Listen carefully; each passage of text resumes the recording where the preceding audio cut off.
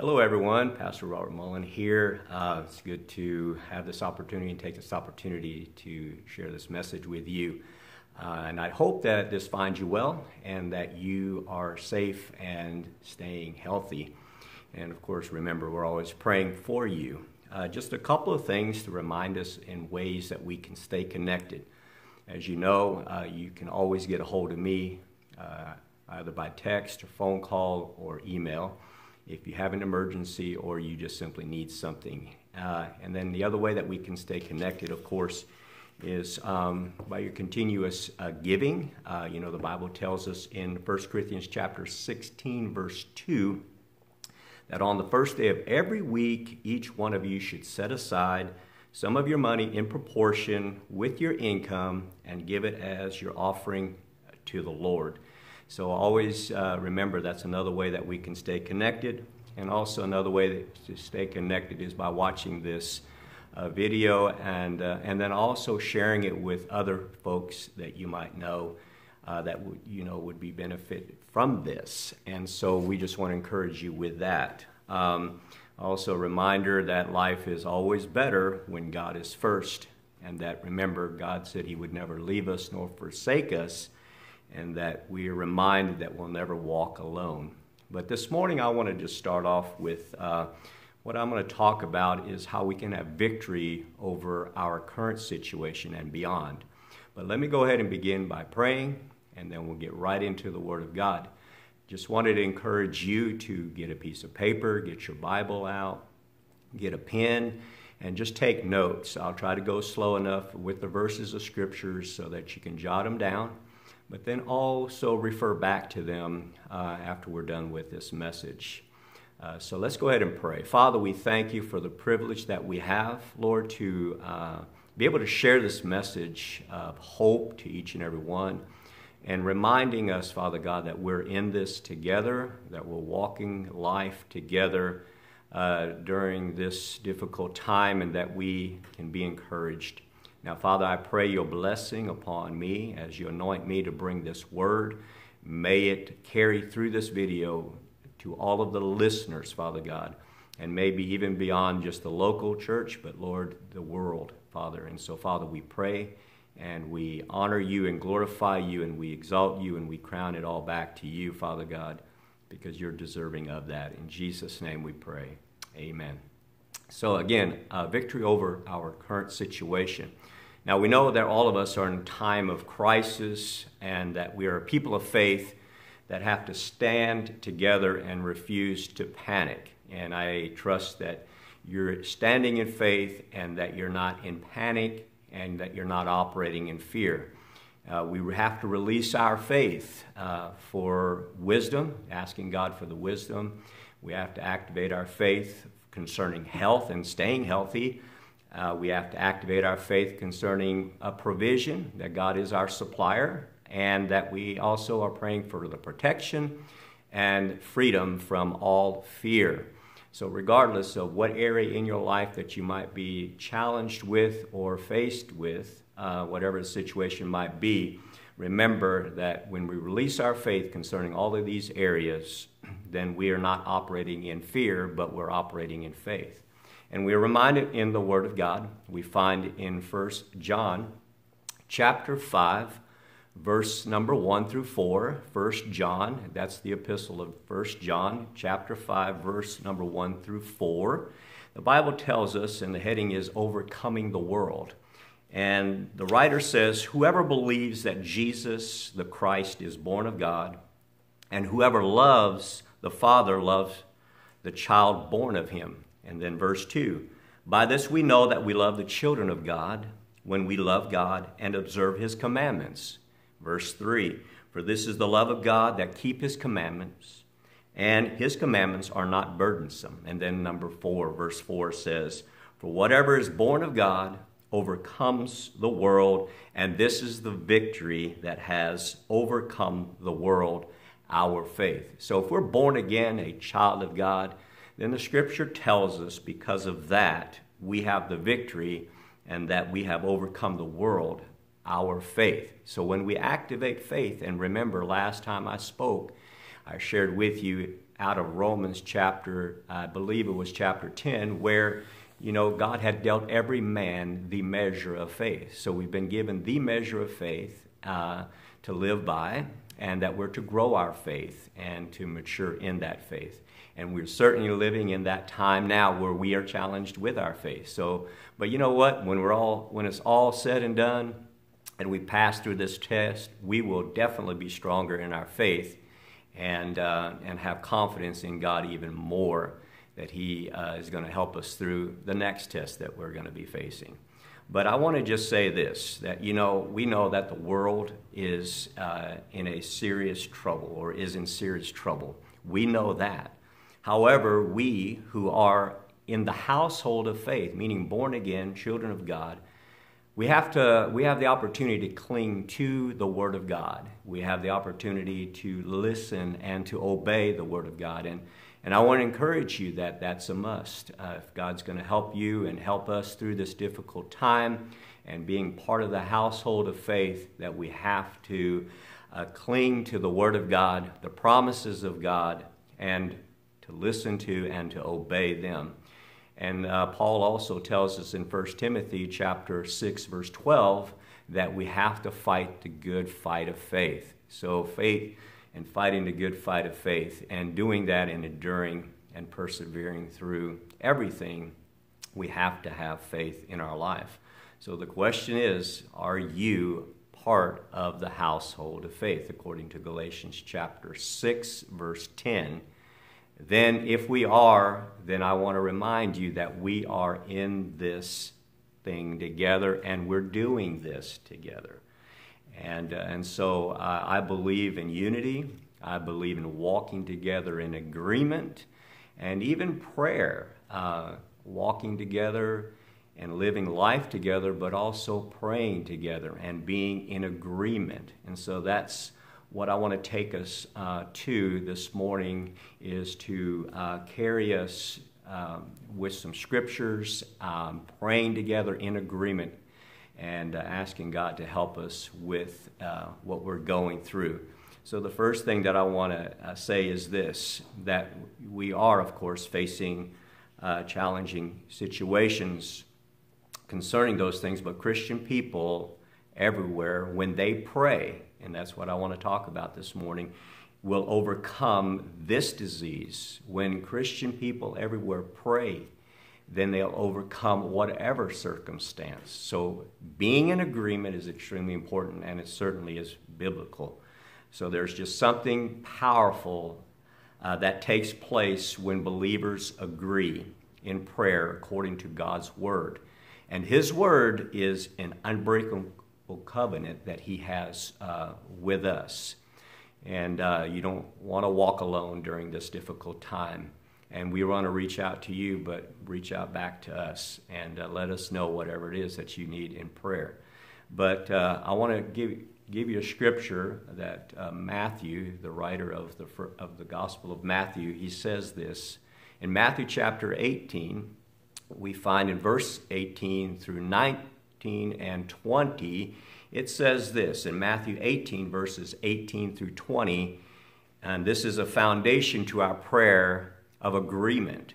And we say, and, and the Bible says this Verily I say unto you, whosoever ye shall bind on earth shall be bound in heaven, and whosoever shall loose on earth shall be loosed in heaven.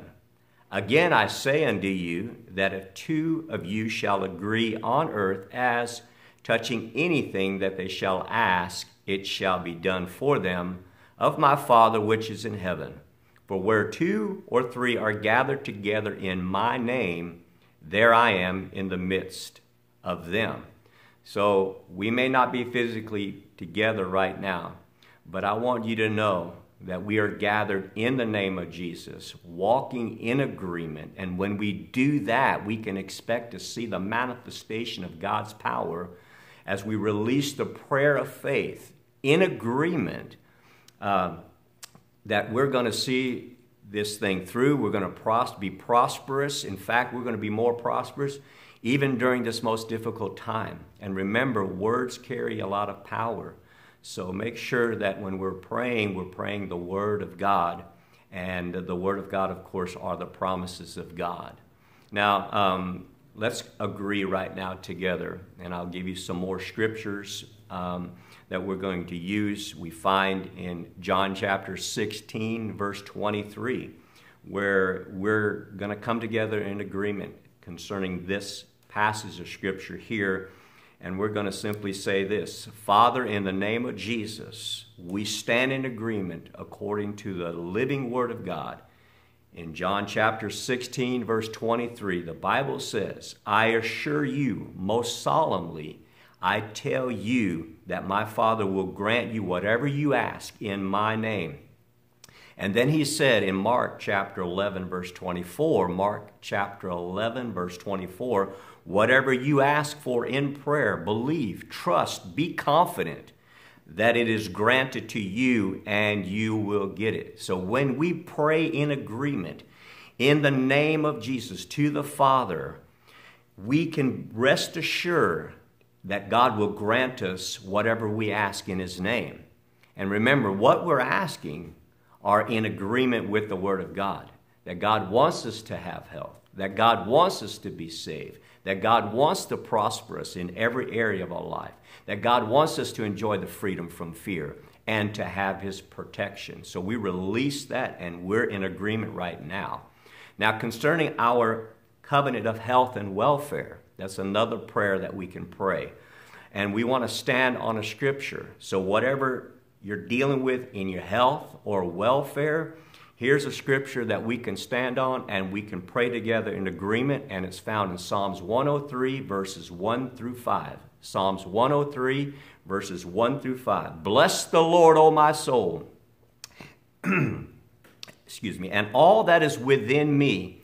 Bless his holy name. Bless the Lord, O my soul, and forget not all of his benefits, who forgives us all of our iniquities who heals all our diseases, who redeems our lives from destruction, who crowns us with loving kindness and tender mercies, who satisfies our mouths with good things so that our youth is renewed like the eagles. So we are healed and made whole in the name of Jesus. Our families will walk in perfect health. We lift up all who have been affected by this virus and believe for their deliverance. And we thank you, Lord, for our good health in Jesus' name. And I want you to repeat that over and over again, even when we're done here today, and just stand on that promise and on the Word of God concerning your health and welfare. The second thing concerning our covenant of protection is from disease we can stand on the scriptures found in Psalms 91, verse 10. I already released that psalm to you already a couple of weeks ago. I hope that you're still standing and reading that every day. Psalms 91 from the very first verse all the way to the last one. But concerning this, uh, protection from disease, Psalms 91, verse 10. There shall no evil befall us, neither any plague come near our dwelling.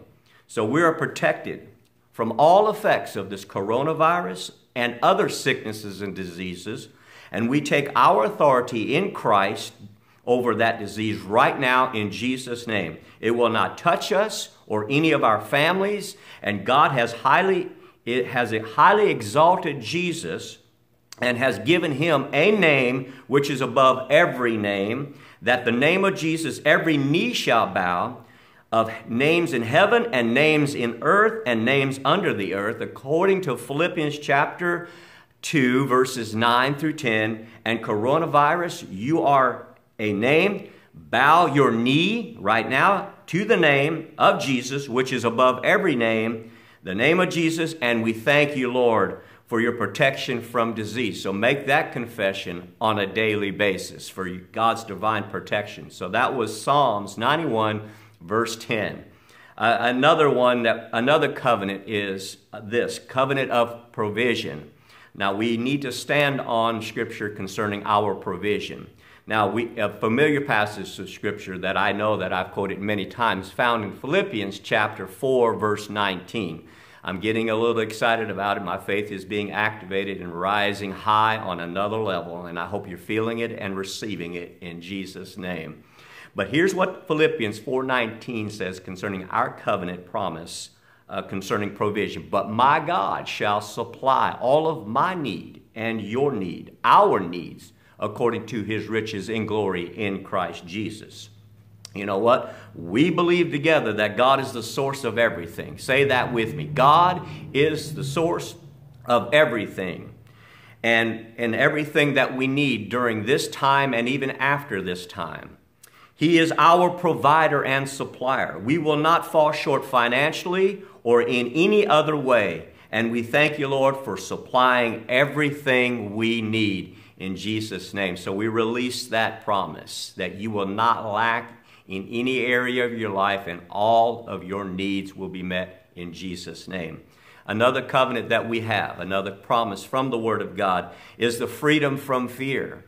Uh, you know, the Bible tells us when we stand on 2 Timothy chapter 1 verse 7 that we're not receiving and we don't have the spirit of fear. And it tells us God has not given us the spirit of fear, but of power and of love and of a sound mind. That's 2 Timothy chapter 1 verse 7. So stand on that scripture that I have not. God did not give me the spirit of fear. I refuse fear to dominate in my life. I have received the spirit of power and of love and of a sound mind. So, Lord, I release sound mind on every person that's listening to me right now in Jesus' name. So, we refuse to fear, we refuse to panic, we refuse to worry, and we cast all our care and our anxiety of over of all of this over unto you, God, because care you care for us according to 1 Peter chapter 5 verse 7. Thank you, Lord, for our freedom from fear in Jesus name. So you say to fear, get out of here. You don't belong in my life. I have the spirit of power and love and of a sound mind. I receive that in Jesus name and I cast all my cares over to him. Why? Because he cares for me. The next thing I want to talk about concerning um, our government and the world governments. We have to also keep that in mind. And we want to stand on scriptures concerning that as well as we pray in agreement and release this prayer in 1 Timothy chapter 2 verses 1 through 3.